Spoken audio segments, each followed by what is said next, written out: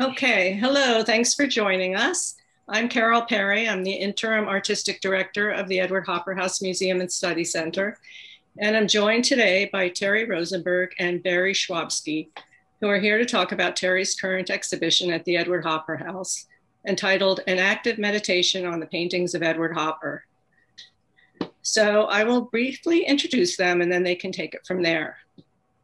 Terry Rosenberg has exhibited his paintings, sculpture, and drawings in the US and Europe in venues such as MoMA PS1, the Whitney Museum of American Art at Philip Morris, the Albright Knox Art Gallery, the Museum of Fine Arts Boston, the Sao Paulo Biennial, and he is included in the permanent collections of the Brooklyn Museum, the Smithsonian American Art Museum, Fine Arts Museums of San Francisco, the Walker Art Center, and the Albertina. Barry Schwabsky is art critic for The Nation and co-editor of the International Reviews of Artforum. He has published several books on art criticism and poetry, including The Observer Effect on Contemporary Painting from Sternberg Press in 2019, and The Perpetual Guest, Art in the Unfinished Present from Verso in 2016. Okay, so that's the intro. And um, Barry and Terry, welcome. And um, you can take it from here. Thank you. Thanks very much, Carol. Carol. Okay. Um, Terry, when we were uh, sort of emailing about this ahead of time, and I mentioned that uh, one of the topics I, I wanted to talk about was space and different ideas of space. And in your response, I noticed that you did something very interesting, which was to uh, sort of shift space into time, uh, which I think in the end probably is uh, the more apt subject. And I hope we'll, we'll get to that. But I thought maybe we should just start uh, uh out a little bit less abstractly and uh, find out something from you about um, how this project came about and how you actually went about working on these uh, drawings in an active response to the paintings of Edward Hopper. I was initially invited by Richard Kendall and Jill Devonyar, who were on the exhibition committee at Hopper House and um, they uh, invited me to have an exhibition there and said that, um, by the way, it had to do with Hopper or his his work or his biography or you know him in some way, shape, or form. And um, I thought, well, I, I don't know, really, I was at a loss of how that would really play out or what that would look like. And this went on for a couple of years of discussions with Richard and with Jill and with uh, my partner Claudia Alvarez, who was also invited to have an exhibition. And so we were all kind of talking about Hopper paintings in depth for a really long time. And uh, I really didn't have any ideas about, I, the thing I clued in on most about Hopper paintings that was interesting to me, or most interesting, was the ethereal psychological nature of how his paintings are so concrete and that they're all emotional and and uh, um, they uh, I, am not sure what the quote is about the 20th century, but they impacted the. Uh, I wrote something down here. I have a quote from. Uh, uh, his lonely, uneasy figures in everyday situations and common settings suggest spiritual crisis within the framework of realistic characters, real places, in the manner of typical of modernism. That's from uh, Gail Levin, 2007, in her biography about Hopper. Um, and what really uh, occurred to me was that the space between the figures and the architecture that he created was And I identify that because I work with figures in motion a lot, and, and the skin is um, an important feature of that in terms of perception.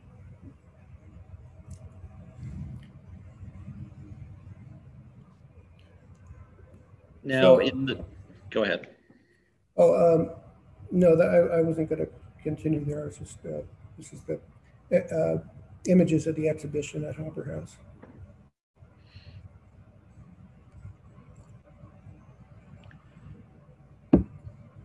Now, something that these uh, drawings that you've made for this exhibition share in common with Hopper, but not, I think, with uh, most of your painting until now, is uh, precisely the fact that you, uh, to some degree, you represent the space in which the figures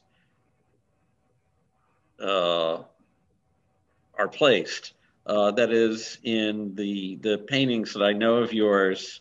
Uh, this sort of spatial framework is is left undefined, except for the uh, rectangle itself of the of the painting.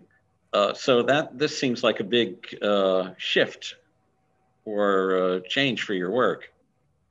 It, it was, and um, I have made other paintings uh, in the past, in the 80s and 90s, um, that had other references other than figures in them. Um, but um,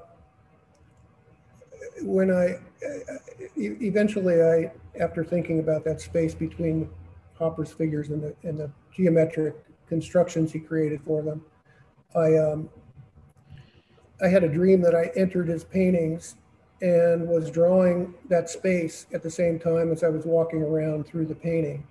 And uh, it was kind of a powerful and interesting dream, and it um, it made me make some drawings related to the dream. You know, the next day when I woke up. So that sort of started uh, the idea. That sort of gave me an inroad to what I might do with this project. Um, I, I didn't know if it was ever going to happen. Then it hadn't happened sort of suddenly after you know four years of thinking about it.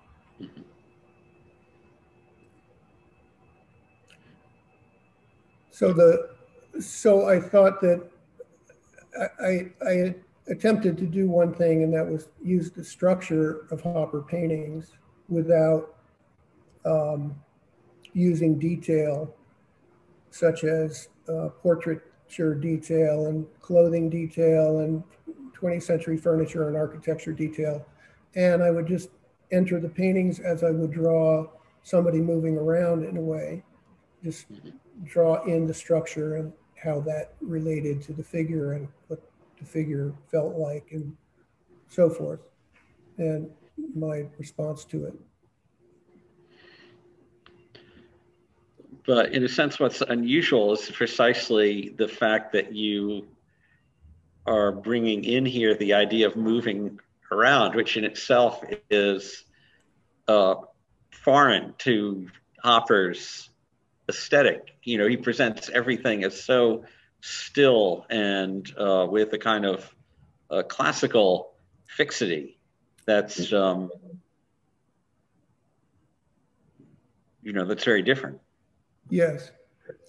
It, I, I wasn't particularly interested in re-rendering Hopper paintings or, um, you know, doing a redo of Hopper per se, or uh, I was just interested in that space and, and trying to move into that space and see what drawing it differently might produce. I had no real outcome in mind. I didn't have, uh, you know, I wasn't going to like tell my different stories or anything like that. I just simply responded to it as, as a drawing exercise in a way, mm-hmm. um, which I love to do different kinds of drawing exercises um, for various kinds of way to draw. So um, drawing to me is a very primary and regular pastime and a very vital one.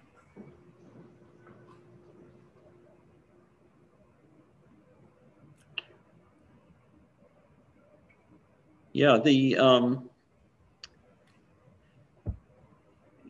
the movement, I suppose, is a kind of perceptual movement rather than a, a full body movement or, or Would that be right? Yeah, I mean, the drawings are 28 by 40 inches uh, is the sheet size. And so, you know, I was moving my arm around sometimes and my hand and wrist and so forth, but I wasn't moving across the room or anything to that scale that I might do in certain paintings. So, um,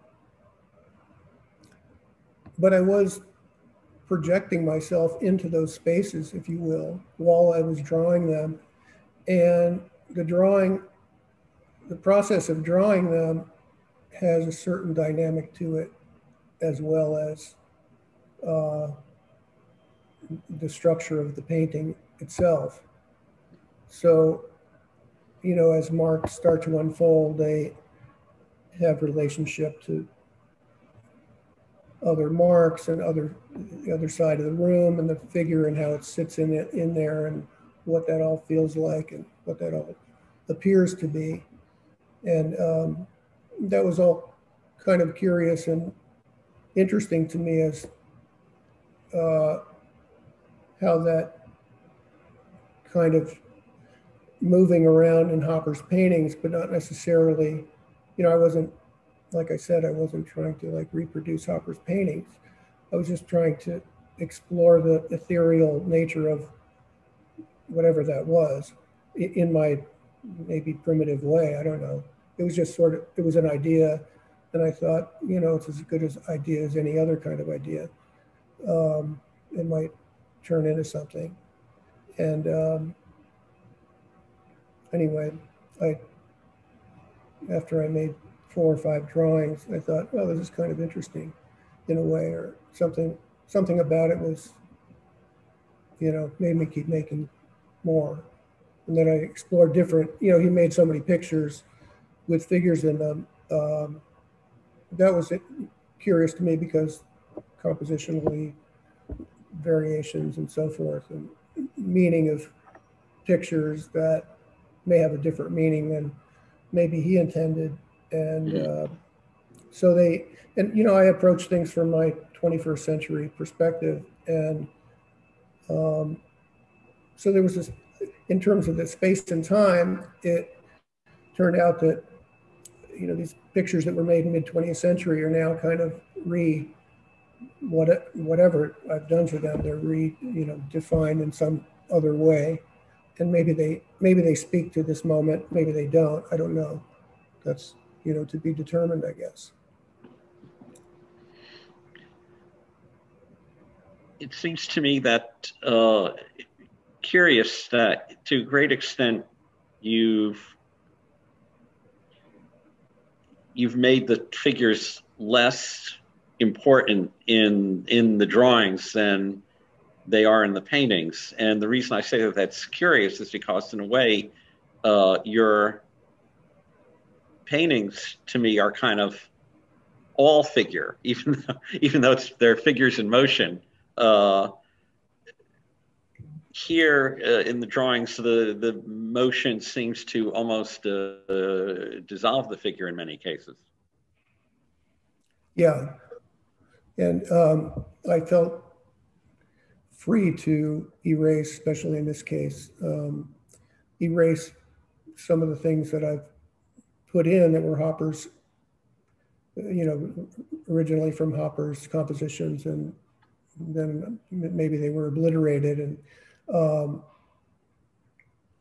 I'm not sure why that is per se. I was just trying to make pictures that were of interest to me. Mm-hmm. Um,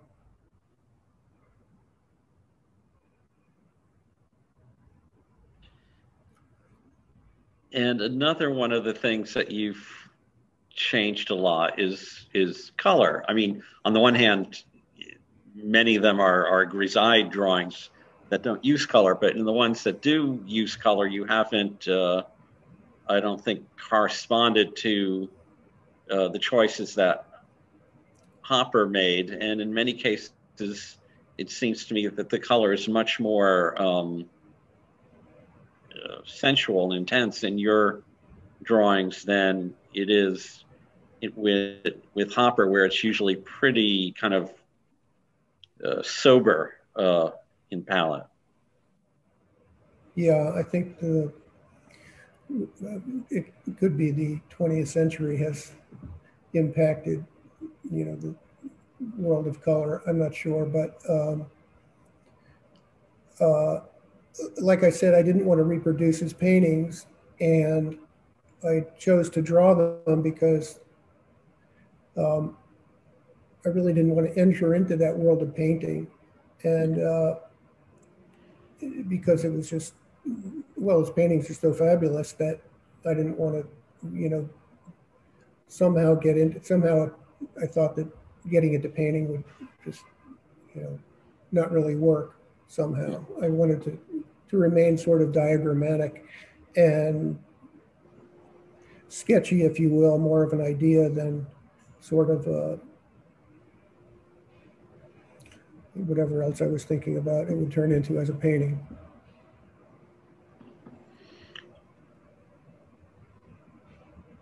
It sounds like your uh, your work here has been made as much out of resistance to Hopper as to as out of uh, attraction or as out of um, what you could possibly draw out of out of him.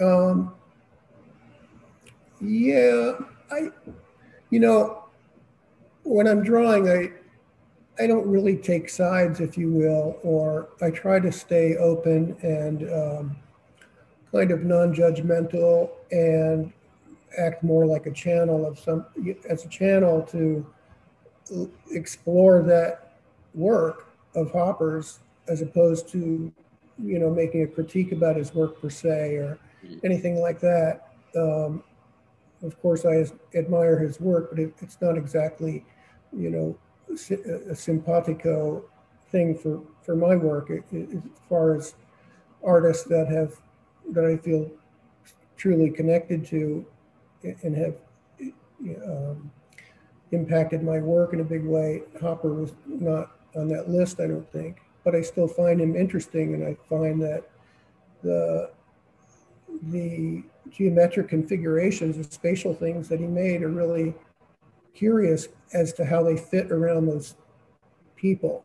And the whole psychology of Hopper in terms of what he does with those figures and makes them so inwardly uh, uh, restrained and you know psychologically turned inward and alone and all that stuff.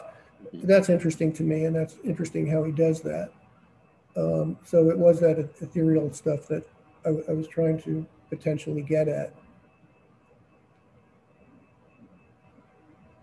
all, all the stuff that's uh, the most intangible, in fact. Yeah.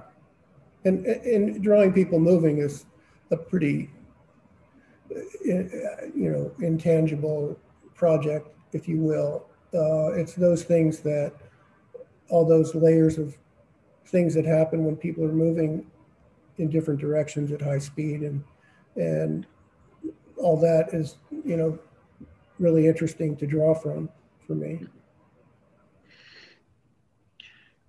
those those paintings of people in motion uh, really are, and this I think maybe goes back to my first point about space and time, uh, are really a kind of palimpsest of time. In other words, uh, by uh, responding to successive movements and overlaying them you create a, a, a, sort of simultaneous image of something that occurred over over some expanse of time. Um, would you say that in this case you were recording the expanse of time of your response to the the Hopper paintings, or or how does the the kind of play of time uh, work in these drawings compared to other works of yours? Um, I think in the Hopper drawings that I have produced here, um, yes, it's kind of a recording, if you will, of my time, um, my drawing time. And um, uh, it, it's perhaps different than um, it's different than the recorded time or palimpsest uh, space time that you mentioned in the paintings in that um, there seems to be a in the paintings they're typically of one person or sometimes two people. Um, i haven't made any you know multiple people paintings that done that with drawings before. Um, and there tends to be a sort of a connective tissue, if you will, from one second to the next or one gesture to the next, or uh, how color and layers and tones add up in time. And um, it um, it's a different kind of a time than than uh, a time that is like a, a, a time of uh, a working time of like labor time. You know, a lot of paintings are just made up of countless hours of labor. And mm. you don't really see the strokes and the movement and the touch factors and all that um, complex stuff that can happen in, uh, let's say, a Cy Twombly painting or a, or a Van Gogh painting or something like that. Um, and so the the paintings are, are I, I, try to uh, be in the present time mm-hmm.